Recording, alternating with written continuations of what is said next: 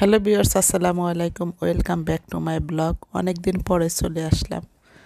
আর আমি যখন গতেনবার গিয়েছিলাম, তখন কিছু কিছু ভিডিও করে রেখেছিলাম, কিন্তু সবগুলো আমি দিতে পারি না, আজকে দিব।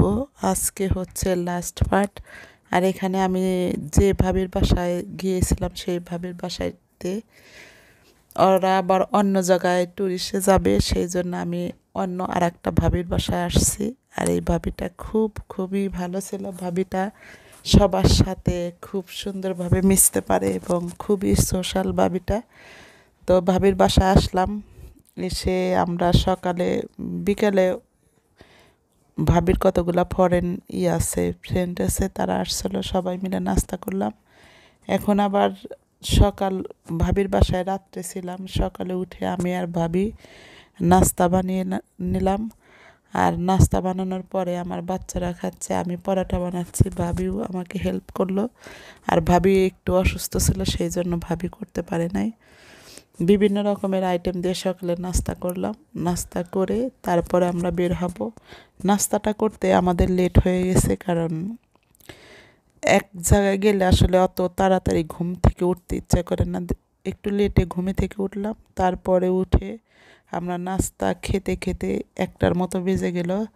তারপরে একটু বসে কিছুক্ষণ বসে থাকার পরে তারপরে আমরা রেডি হয়ে বের হয়েছি। বের হয়ে একটু বাসের জন্য অপেক্ষা করলাম। বিভিন্ন শপ শপিং মলে যে একটু ঘুরলাম। তারপরে সিটিতে আসলাম। এসে ট্রেনের যে সেন্ট্রাল স্টেশনটা আছে, সেখানে এসে আমরা একটু ঘুরে ফিরে তারপরে হচ্ছে আমরা চলে আসব।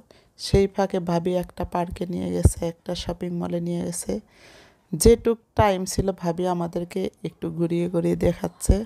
কারণ আমি লং টাইম দুই বছরের মতো গতেনবার ছিলাম, তখন আমার বাচ্চারা ছোট ছোট ছিল।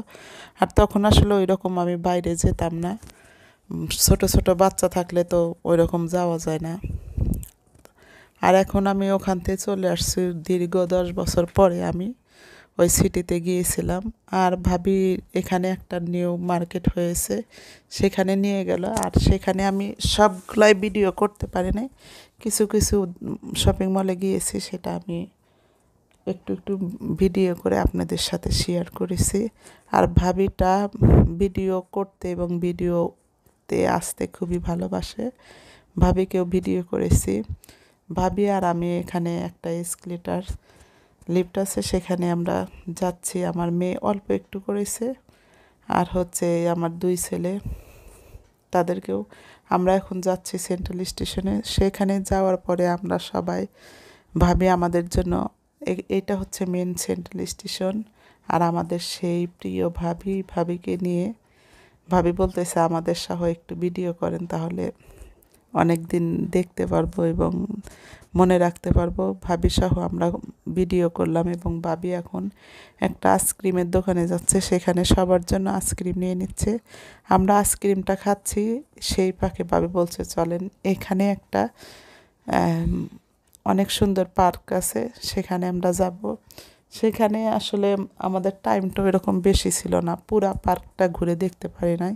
কিন্তু খুবই সুন্দর খুবই সুন্দর ন্যাচারাল এবং আপনারা যারা এই গোতেনবার সেন্ট্রামে আসবেন, সেখানেই আছে এই পার্কটা সেন্ট্রাম এক এক সাইডে অপোজিটে হচ্ছে এই পার্কটা খুবই সুন্দর।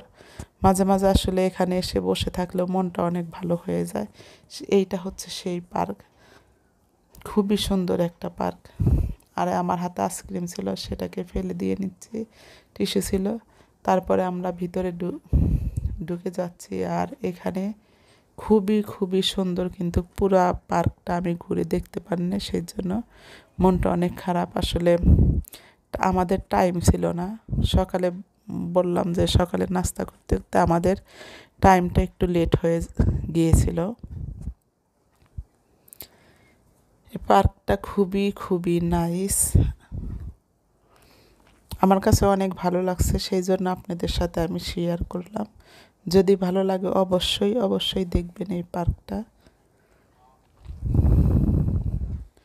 এই পার্কটার ভিতরে অনেক সুন্দর কয়েকটা রেস্টুরেন্ট আছে। এখানে ট্যুরিস্টরা আসে এবং এখানেই রেস্টুরেন্টে বসে রেস্টুরেন্টে লাঞ্চ ডিনার করে, তারপরে সবাই যায়। আমাদের আসলে সেইটুকু টাইম ছিল না। যেটুকু টাইম ছিল, আমরা বিভিন্ন রকমের এখানে পিক উঠিয়েছি এবং শুধু একটু একটু দূরের উপরে আমরা যেটুক দেখার মতো একটু দেখে আসছি। নেক্সট টাইমে আবার যখন যাব, তখন আমরা আসলে দেখে আসব।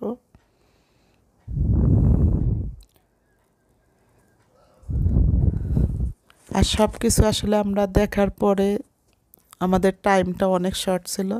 তারপরে আমরা, আমার বাচ্চার জন্য যে ট্রেনে খাবারগুলো নিয়ে আসব। কিন্তু আসলে আমাদের যে মেন সেন্টুম সেন্টুমটা সেখানে আমাদের ই ছিল না। ম্যাকডোনাল্ড ছিল না। পরে আমরা আসলে অন্য জায়গা থেকে অল্প কিছু খাবার নিয়ে আমরা ট্রেনে উঠে আসছি। এটা আমার ছোট ছেলে।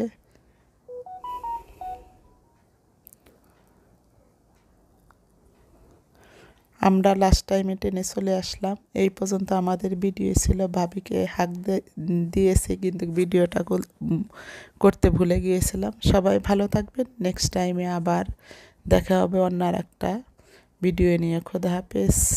বাই